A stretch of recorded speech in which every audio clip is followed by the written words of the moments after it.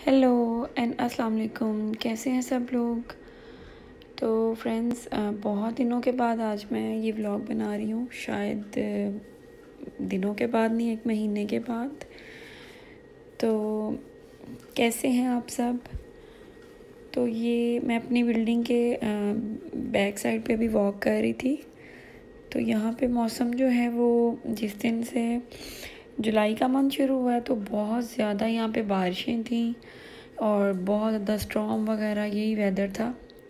तो मैंने अभी लाइट सी जैकेट पहनी है तो मैं यहाँ पे वॉक कर रही हूँ अपने बिल्डिंग के पीछे ये जगह है तो यहाँ पे आपको बताती हूँ कि बहुत ज़्यादा जैसे ये ट्रीज़ हैं, इनके नीचे ब्लूबेरीज लगी हुई हैं।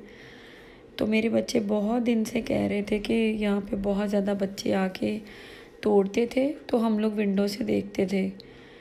तो यहाँ पे आज ये कह रहे थे कि वो भी जाएँगे या तोड़ना चाहते हैं तो मैंने उनको कहा था कि मैं या मेरे हस्बैंड इनके साथ जाएँगे, फिर आप लोग तोड़ सकते हो। तो अभी हम लोग इनके साथ आए हैं, ये सामने बहुत ज़्यादा बच्चे हैं, शायद आठ दस बच्चे हैं, यहाँ पे ये लोग तोड़ रहे हैं। तो मैं रोज़ाना विंडो से ऊपर से देखती थी, अपनी बेडरूम की विंडो से, कि शाम को यहाँ पे बहुत ज़्यादा बच्चे होते हैं, पता नहीं ये क्या करते हैं। तो फिर मुझे मेरे बच्चे ने बताया कि यहाँ पे ना ये ब्लूबेरीज़ लगी हैं तो ये तोड़ते हैं वो। और ये इतने इतने बड़े बॉक्स बच्चे भर लेते हैं, और मैंने देखा है ये शायद सेल भी करते हैं, या क्या हिसाब है।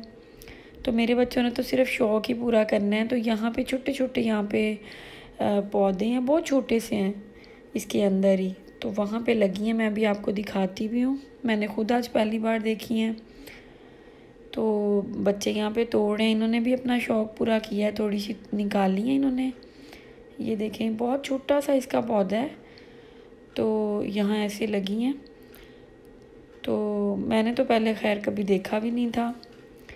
स्ट्रॉबेरीज़ भी यहाँ स्वीडन में बहुत ज़्यादा लगती हैं। एक वही फ्रूट है जो यहाँ पे बहुत ज़्यादा लगता है और मतलब बाकी सब तो बाहर से ही आता है। तो ये भी बच्चे तोड़ रहे हैं।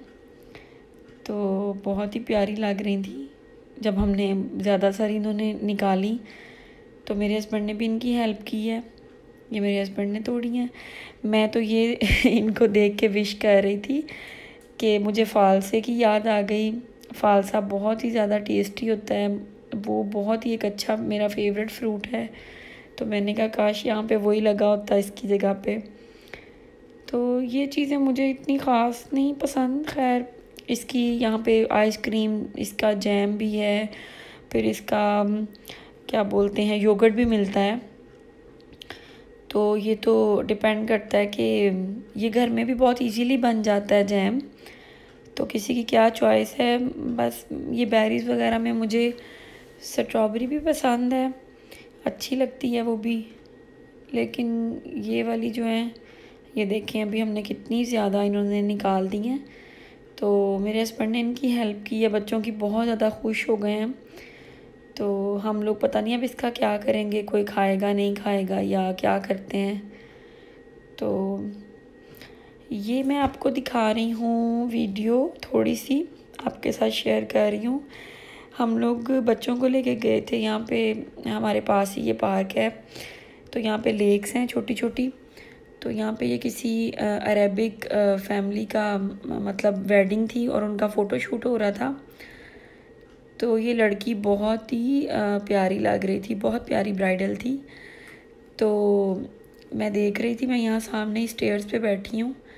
तो फिर मैंने छोटे छोटे से वीडियो क्लिप्स बनाए थे। तो मैंने सोचा मैं ये भी आपके साथ शेयर करती हूँ। तो मैं देख रही थी इसके ड्रेस इसका बहुत ही ज़्यादा हैवी था या मुश्किल से चला जा रहा था। तो इसका ड्रेस बहुत ही ज़्यादा ना जैसे इसके अंदर शायद वायर्स हैं। तो इससे बहुत ही ज़्यादा मुश्किल से गाड़ी में तो बैठा ही नहीं जा रहा था। मेरे बच्चे भी हंसने लग गए थे। तो मुझे पूछ रहे थे, ये आई कैसी होगी? इससे तो बैठा ही नहीं जा रहा। तो ये देखें आपके सामने ही है। तो मैं ये सोच रही थी कि शादी कहीं की हो, कहीं भी हो मतलब और दुल्हन कहीं की भी हो, लेकिन शादी का जोड़ा शायद इसी तरह हैवी ही होता है।